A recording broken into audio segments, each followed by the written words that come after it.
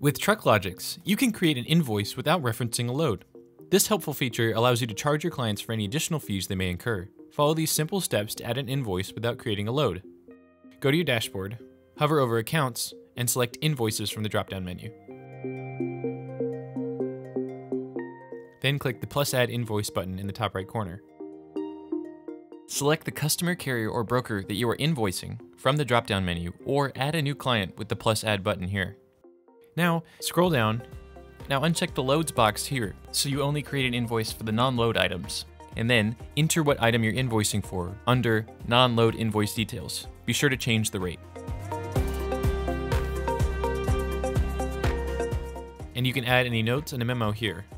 When you're finished, click Generate Invoice. You can now finish by clicking Finalize in the top right corner. This invoice can now be printed or emailed to your client. Want to try invoicing with TruckLogics? Go to trucklogics.com and get a 15 day free trial today.